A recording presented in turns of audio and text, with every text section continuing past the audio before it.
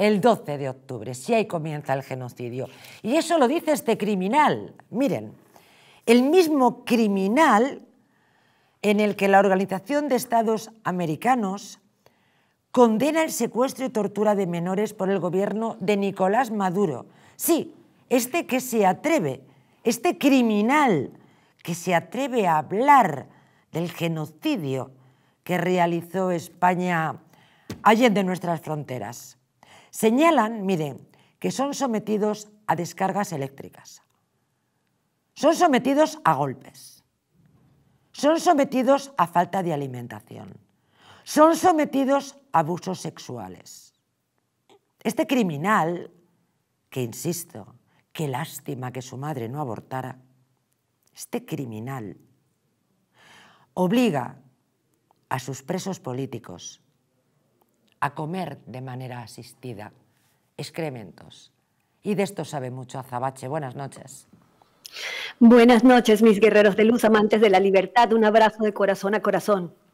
Una alegría siempre recibirte. Tremenda esta noticia. No dejo a veces de recordar eh, tus palabras contadas en este programa durante este verano tan intenso.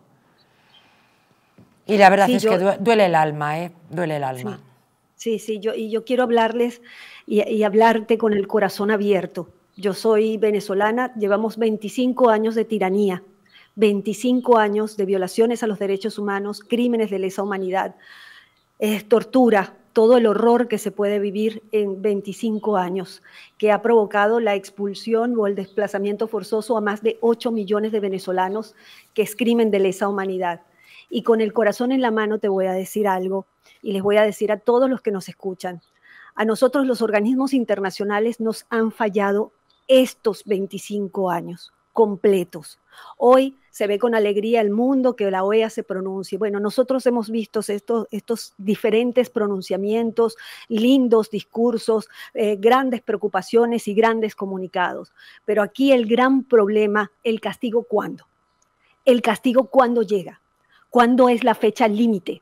Hoy la tiranía de Maduro aplica torturas a los ciudadanos, militares, periodistas, políticos, comunicadores, activistas, niños, gente discapacitada está en las mazmorras del régimen. Y como bien decías, enumerabas algunas de las, de las torturas terribles que hace el régimen, como los golpes, eh, torturas físicas, privación del sueño, abuso psicológico prolongado, aislamiento extremo, les aplican electricidad, les hacen comer gusanos, les hacen comer excrementos, y perdón que me, me... porque la verdad es que esto es... Esto es yo, quiero que la gente se ponga en los pies de esas personas, de esos niños que están comiendo excremento, que están siendo abusados sexualmente.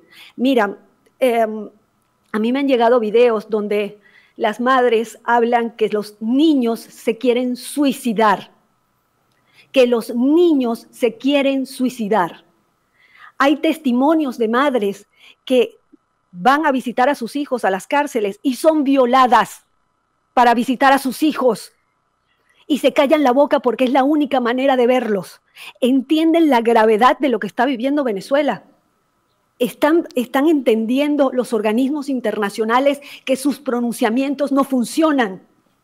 Están entendiendo que eh, tanto la OEA como todos estos tipos de organismos, el, eco, ellos se, se jactan diciendo somos eco, no nos hace falta el eco, tenemos la tecnología para ser los ciudadanos de bien eco. Necesitamos acciones rotundas, contundentes, fechas límite.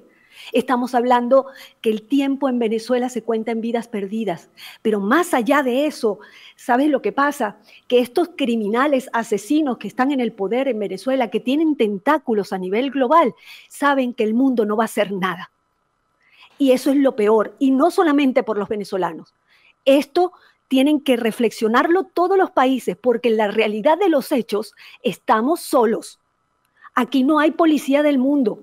Y si el mundo libre no se une para realmente estos tratados internacionales que se han firmado, como el R2P, la Carta Democrática, la Convención de Palermo, tantas cosas que se han firmado para proteger a países, no solamente como Venezuela, como Cuba, como Nicaragua, como Bolivia, y los países que siguen cayendo en esta desgracia, que pierden la democracia y no se dan cuenta porque esta gente encontró la forma de meterse dentro de, las instituciones y romperlas desde adentro.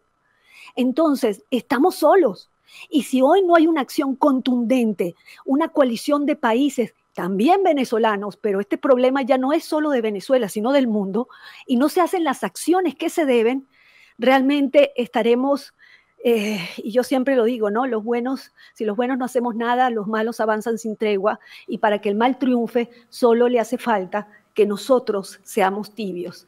Entonces ahí eh, los, los, los, quiero abrazar con el corazón y decirles que todos estamos en este problema. Sobrecogida, em, sobrecogida te despido. Azabache, em, muchas gracias. Por favor, recuérdanos cómo es que no, no tengo palabras. Eh, ¿Cómo podemos seguirte? Por supuesto, en arroba online, en todas mis redes sociales y siempre con la fuerza y la energía. Si nosotros que hemos perdido todo, familia, país, en mi caso hasta carrera, podemos salir adelante, todo el mundo puede salir adelante. Solo hay que tener voluntad y para mi gente de España, los abrazo con el corazón a minutos de la hispanidad.